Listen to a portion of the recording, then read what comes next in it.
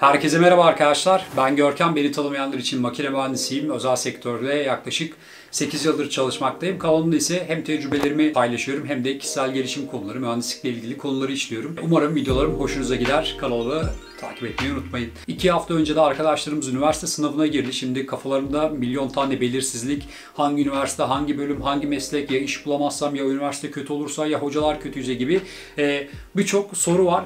Ben de bugün biraz kendi perspektifimden bunlara açıklık getirmeye çalışacağım. Ben üniversite seçerken nelere dikkat ettim? E, 8 yıldır çalıştığım hani özel şirketler nelere bakıyor? Hangi özellikleri istiyor? Yani bunları üniversite ile ilişkilendirmeye çalışacağım biraz. Umarım faydalı olur. Hadi başlayalım. Arkadaşlar birinci aklıma gelen üniversite bir araç olmalı. Sizin amacınız olmamalı. Benim amacım, hedefim güzel bir üniversitede okumak, güzel bölümden mezun olmak değil. Senin hayallerini o üniversite nasıl hizmet edecek, seni hayallerine nasıl götürecek, nasıl taşıyacak, sana neler katacak o önemli. E, o yüzden de üniversitelere bir araç olarak bakın. Gitmek istediğiniz yerde e, bir size destek olacak bir e, 4 senelik serüven gibi bakın. E, amacınız üniversite olmasın. Yani bölüm sizi yönlendirmemeli, siz onu araç olarak kullanmalısınız. Bu yüzden de e, isteyerek gitmelisiniz. Yani binlerce mezun var arkadaşlar. Sırf üniversite iyi diye e, iş olanaklarının kısıtlı olduğu bölümlere gidip e, ondan sonra o işi yapmayan veya mezun olduktan sonra o işi nefret ederek yapan binlerce insan var. E, böyle insanlardan olmayan arkadaşlar cidden sevebileceğiniz işlerle e, uğraşabileceğiniz e, bölümleri ve mesleği seçin.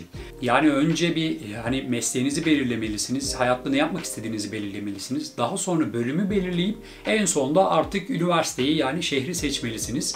E, bu kırılımı böyle yaparsanız emin olun çok daha sistematik ve hızlı ilerlersiniz. Bana da en çok gelen sorulardan biri ya şu üniversite mi, üniversiteye mi gitmeliyim? Aynı bölüm bu üniversiteye mi gitmeliyim? E, üniversite imajı etkili mi? Üniversite ismi etkili midir diye e, birçok soru geliyor. Geçenlerde de bir video denk geldim. E, hatta 2-3 tane videoya denk geldim.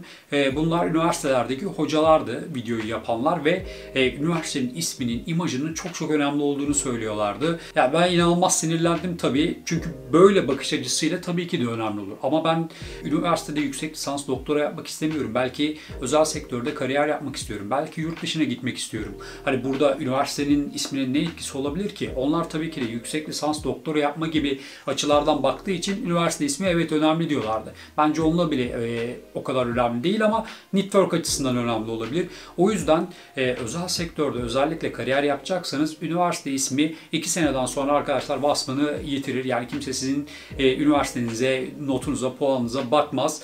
E, sadece ne katabilirsiniz? Kendinizi nasıl geliştirebilirsiniz? İşi öğrenmiş mi? Çabuk öğrenebilir mi? Bu gibi noktalara bakıyorlar. Zaten birçok videomda bunları paylaşıyorum. E, o yüzden öyle videolara bence takılmayın. Öyle videolarda sizi demotive etmesin. Üniversite e, e, ismi, imajı sizi bir yere kadar götürür. O da çok kısa bir mesafe. Belki güzel bir yerde staj bulabilirsiniz. Belki hani hocaların network'üyle bir şeyler olabilir. O da çok sınırlı sayıda zaten. Ama evet bu çocuk şu üniversiteden mezunu hemen bunu işe alalım diye bir şey artık dünyada yok. Staj alımlarında bile bir sürü mülakat yapıyor şirketler. E, o mülakatta düşünün biri kendini çok iyi geliştirmiş, birçok konuda aktif. Diğeri çok güzel üniversitede ama hani kendini geliştirememiş, kendini ifade edemiyor. O zaman geçmiş olsun arkadaşım yani kimse üniversite ismine bakmaz kusura bakmayın. Bazen bir şey görüyorum hani üniversite seçerken işte derslere bakılmalı, içeriğine, müfredatine arkadaşlar ne alaka zaten 100 kere diyorum ben bunu. Üniversitede gördüğümüz şeylerin %10'unu 15'ini maksimum anca kullanıyoruz özel sektörde yani çalışırken zaten Artık bence müfredatlarda biraz eski kaldığı için hatta bayağı eski kaldığı için dünya inanılmaz değişti. O ritme, o değişkenliğe uyum gösteremedi bence üniversiteler. Yeni yeni onun yerine bölüm açmaya çalışıyorlar. İşte yapay zeka bölümü, ya sen niye yapay zeka bölümü açıyorsun? İlgili mühendislik dallarında e, müfredatını değiştirip onu versene gibi. O yüzden e, oraya da fazla takılmamak lazım dersler konusunda. Önemli etkenlerden biri arkadaşlar meslek ve üniversite seçerken iş bulabilme durumu, iş dalı nasıl, e, iş olanakları nasıl, etki ettiği çevre nasıl? Bu gibi sorular geliyor aklımıza. Yani geçenlerde de bir arkadaşımız sormuştu örneğin enerji sistem mühendisliğinin işte geleceği nasıl veya şu anki iş bulma olanakları nasıl diye. Arkadaşlar şu kadar basit iş bulma olanakları için giriyorsunuz kariyer.net'e, LinkedIn'e orada e, search kısmı var, arama kısmı var. Oraya istediğiniz mesleği yazıyorsunuz ve orada bir sonuç gösteriyor. İşte 10 bin, 50 bin hem dünyada, Türkiye'de arayabilirsiniz, şehirde arayabilirsiniz. Mesela E, o bölüm çok güzeldi. Hani özellikle Avrupa'da, Amerika'da spesifik nokta atışı e, o mühendislik dallarını isteyen şirketler olabilir. Ama ne yazık ki Türkiye'de endüstri ve malzemenin eskiden olduğu gibi daha sonra yaygınlaşacak bölüm. O yüzden girdim hemen LinkedIn'a baktım. Dünyada 100 tane e, arıyorlar o mühendislik dalında. Türkiye'de de 10 tane zaten biri ilgiliydi. O yüzden hemen direkt diyebildim. Evet ilerisi çok parlak ama maalesef şu anda iş olanakları kısıtlı. Hani bu 15 sene sonra mı artar, 20 sene sonra mı artar bunu maalesef kestiremeyiz. O yüzden LinkedIn ve kariyere girip o mesleğin iş olanaklarını sorgulayabilirsiniz. Meslek seçiminde son olarak söyleyeceğim şey ise işin size uyumlu olup olmaması. Yani bu bir kere çalışma ortamından başlar. Biri cidden ofis ortamında çalışmayı seviyordur. Biri gezmeyi seviyordur. Biri ise hani zorlayıcı şartları seviyordur. Önce inşaat mühendisi düşünüyorsanız ofis ortamı zor veya maden mühendisliği, metalurji mühendisliği, makine mühendisliği. Hani sonraları olabilir ama yerimizin birinin e, masa başında çalışması bazı mesleklerde zordur. Bu yüzden size işlerin uyumlu olup olmamasına da önem göstermelisiniz. En başta dediğim gibi hastaneleri sevmiyorsanız gidip doktor olmayın. Çünkü hayatınız boyunca mesleğinizden nefret edersiniz ve etrafınızdaki insanları da etkilersiniz. E, o yüzden bu da bence çok önemli bir kriter. Belki de yurt dışında çalışmayı düşünüyorsunuzdur. Bazı bölümler cidden böyle evrenseldir. Bazı bölümler değildir. Yurt dışında çalışmayı düşünüyorsundur. Türkçe öğretmenliği seçiyorsundur. O yüzden bu çelişkilere de dikkat etmek lazım. E, örneğin mühendislik cidden global bir e, meslektir. Ya doktorluk da mesela öyle değil. Doktorların yurt dışında çalışması da çok zor. Son olarak söyleyeceğim şey ise bu konuyla unutmayın. Üniversitelerin vasfı kariyerinizdeki ilk iki seneden sonra kalmaz. Toz ve gaz bulut olur. Şimdi gelelim. Bölüm mesleğimizi belirledik. Bölümümüzü belirledik. Hayatta ne yapmak istediğimizi belirledik. E, peki üniversite seçeceğiz. Belli bir puan aldık. Belli bir kriterler var. E, istediğimiz üniversiteye de gidemiyoruz. Peki ne yapacağız? Üniversiteleri neyini dikkate almamız lazım? Artık Türkiye'de bir sürü üniversite var. Ee, biraz da bunlardan bahsetmek istiyorum. Birincisi arkadaşlar üniversiteleri tanımaya çalışın. Orada hayat nasıl, kampüs yaşamı nasıl, hocaları nasıl, insanlar mutlu mu, öğrencileri bulun konuşun. Bunlar cidden çok e, önemli şeyler. Yani bir okulun hani vizyon olup olmadığını internet sitesinden bile anlayabilirsiniz. İnternet sitesi İngilizce mi, başka dil var mı, o İngilizce güzel mi, sitesi internet sitesi güzel oluşturulmuş mu? Mesela benim en çok baktığım şeylerden biri binaları bakımlı mı? Arkadaşlar binaları bakımlıysa, yemekhanesi güzelse bir yerin insana değer veriyor demektir. O yüzden bunlara da bakabilirsiniz. İnternetten de bulabilirsiniz. Belki gitmiş öğrencilere sorabilirsiniz böyle şeyleri.